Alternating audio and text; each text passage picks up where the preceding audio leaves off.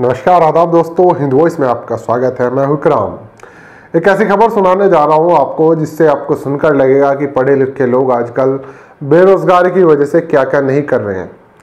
क्या क्या नहीं का मतलब है कि कुछ भी कर दे रहे हैं। चोरी कर रहे हैं, डकैती कर रहे हैं, फर्जी लूट कर रहे हैं और फर्जी छापेमारी कर रहे हैं सीबीआई क्राइम ब्रांच के नाम से। और ये सब हो रहा है दिल्ली में, राजधानी दिल्ली में। जहाँ दोस्तों, दिल्ली का एक इलाका है, साउथ दिल्ली। वहाँ से एक बड़ी खबर सामने आ रही है, घिटौनी से। घिटौनी, साउथ दिल्ली का एक इलाका है। वहाँ पर कुछ ऐसे लोगों को दिल्ली पुलिस ने गिरफ़्तार किया है, जो आपस में अच्छे दोस्त थे और इंजीनियर थे। तो ये पूरी खबर बताने से पहले मेरी आपसे छोटी सी अपील है कि अगर अभी तक आपने हिंद वॉइस को सब्सक्राइब नहीं किया है तो इसे सब्सक्राइब ज़रूर करें। साथ ही अगर ये वीडियो फेसबुक पर देख रहे हैं तो फेसबुक पेज को फॉलो कर सकते हैं। अब चलते हैं इस खबर की तरफ़।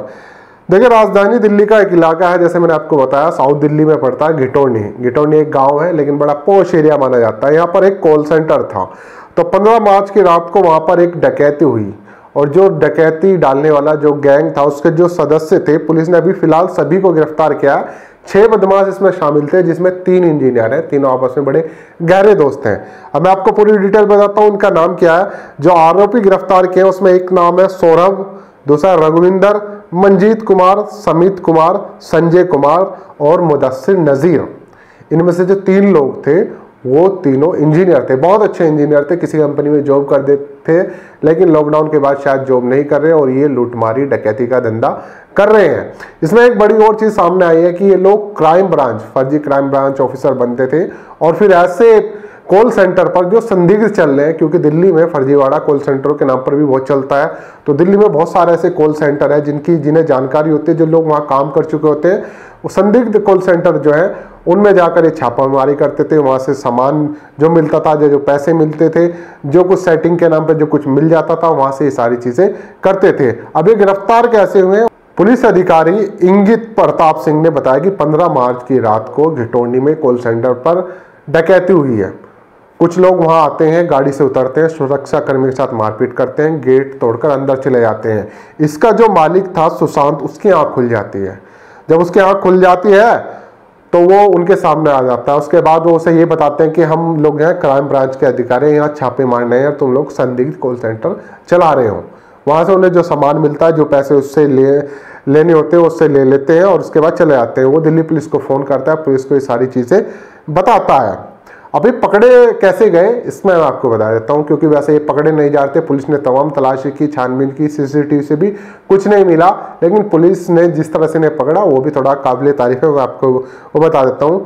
पुलिस ने अपने मुखबिरों को काम पे लगाया, उसके बाद एक फ़ोन जॉन था, जो समित कुमार का था, वो पुलिस ने ट्रेस कर लिया। पुलिस ने उसको उठाया किसी तरह से, और फिर उसके बाद उसमें सारा जो ये था, सारा राज उगल दिया कि कैसे कैसे उन्होंने इस चीज़ को अंजाम दिया।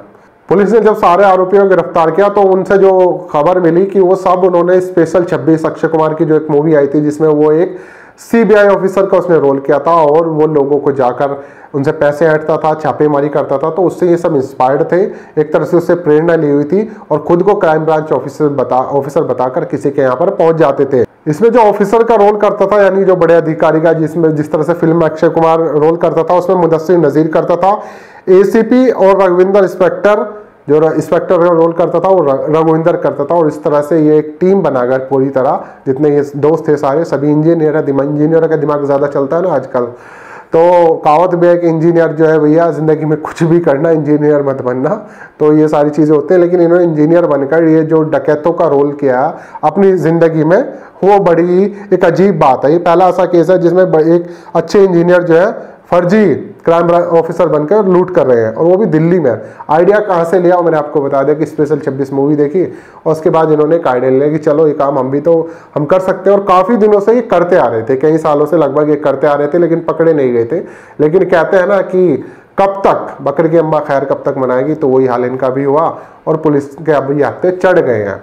देखते हैं पुलिस इन पर क्या कार्रवाई करते हैं, कौन से केस लगाते हैं, लेकिन अभी फ़िलहाल जितने इंजीनियर थे, सब जेल जा चुके हैं। आप लोगों को कैसी लगे खबर? नीचे कमेंट कर सकते हैं। साथ ही इस खबर को ज़्यादा से ज़्यादा शेयर कर सकते हैं। मिलते हैं किसी और एपिसोड में।